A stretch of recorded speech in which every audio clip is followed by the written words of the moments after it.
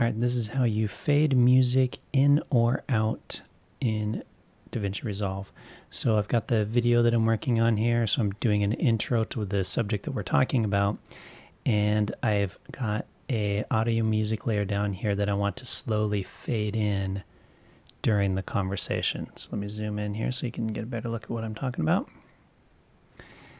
Now, if you can't see the full audio layer, you can kind of uh, just grab it and expand it a little bit to make it easier to see. What you want to do is add a couple keyframes. So decide where you want the music to be at full volume. So in my case, I'm going to say right here.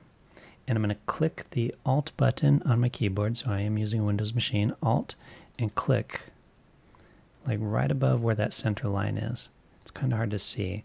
But if you click on it and nothing happens, just move your mouse up just a little bit like I just did and you can see now I've got a red dot showing. That's the keyframe.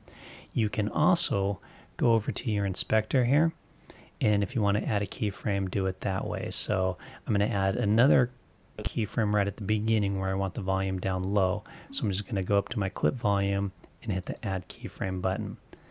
Now what I'm going to do, let's zoom in a bit more. Now all you need to do is just reduce the volume at the beginning. So notice I've got my volume level here. It's at 0, 0.0. I'm going to just drag it all the way to the left and you can see in the timeline what's happening is it's dragging that volume down. So now if I play, let's mute the layer with me talking and I play it. Quiet, quiet, quiet.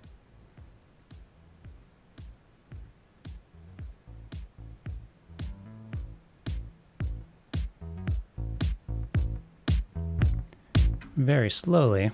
So let's say I actually wanted to come in and be much louder sooner. All you need to do is just click on it so you know you've got it selected when it's red and just drag it over to the left. Be careful when you're dragging it. Notice what happened was if I accidentally go up or down, it's going to reduce or increase the volume there.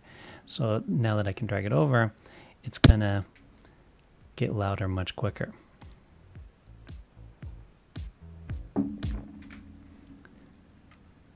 You can also do this within the timeline itself. You don't have to go up to the clip volume. So I'm just going to alt click again and add another keyframe and let's add another keyframe over here. And let's say I just want to drag down the middle. Notice what I did there is I selected it and just drag it down. So now what's going to happen is as the music plays, it's going to be quiet, get to regular volume, go quiet again to regular volume. And the same process if you want to have the music fade out, just go to wherever you want it to start fading, alt click, add yourself a keyframe, alt click again, add a second keyframe, and drag it down. That's really all there is to it. It's pretty quick and easy to do in DaVinci Resolve. Uh, you can, of course, play with it some more in Fairlight and do a lot of that as well. But for just a standard basic edit that you just need to like fade in or fade out some you know theme music that goes, this is just a quick and easy way to do that.